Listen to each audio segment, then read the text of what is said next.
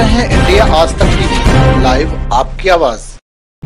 हरियाणा के फरीदाबाद में दिनांक 19 फरवरी 2023 को करतार सिंह भड़ाना अनाज मंडी नूमेवात पहुँचे जहाँ उन्होंने सत्रह सूत्री मांगों को लेकर हरियाणा जनमानस की सभा को संबोधित किया। संवाददाता दिलीप कुमार। के को लेकर भविष्य का क्या प्लान रोड मैप क्या?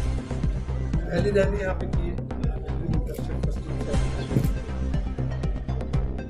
तो कई रैली यहाँ देवा ये धरती मुझे कुछ ज़्यादा में है ज़्यादा रहा हूँ प्यार तो पूरा हरियाणा करता है लेकिन शुरुआत ऊपर वाले ने यहाँ से करवाई है दक्षिण पश्चिम से पड़ अब इसको लेके चलेंगे गुड़गावा जाएँगे बावल जाएँगे फिर नारनौल की तरफ़ जाएँगे फिर अच्छा तो यहाँ से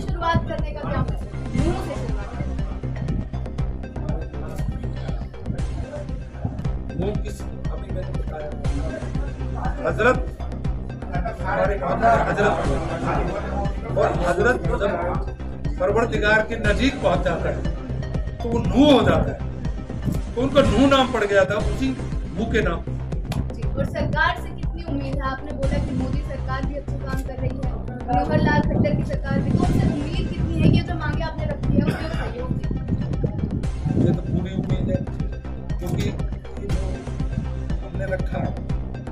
जो कुछ जैसे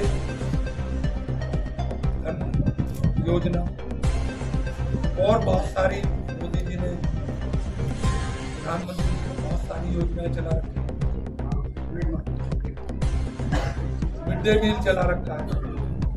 ये सारी योजनाएँ, इनका पैसा सीधा माँ के खाते में जाए, ना कि बाप एक परिवार को वो सारा पैसा जो खातों में आता है वो चलता है वहाँ प्रधानमंत्री और मुख्यमंत्री देते हैं। लेकिन जिसको चाहिए उस तक पहुँचता ही नहीं। और जिसके पास पहले से ही ज़्यादा हो उसे खा जाता है। एक और मुद्दा जनता को काफ़ी पसंद आया है और काफ़ी लाभकारी दिख रहा है जो बेटी है सोलह वर्ष जब वो हो जाएँगे तो छह हज़ार रुपये भत्ता देने की आप मांग रहे हैं। वो क्या है थोड़ा विस्तार में बेटी।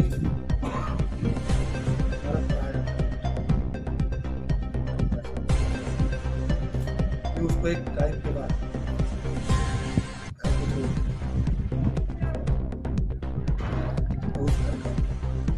पता नहीं कैसा। तो मैं चाहता हूँ कि आठ आठवीं तक माँ बाप की आठवीं तक तो बिल्कुल फ्री होनी चाहिए शिक्षा। आठ साल तक वो पढ़ाएगा। नौवीं में वो कई बार नहीं पढ़ाने की सोचता है। तो नौवीं क्लास में ही। छः हज़ार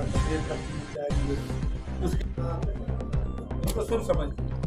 क्योंकि साथ जो है ना, वो सह बढ़ाओ तो इसलिए समझा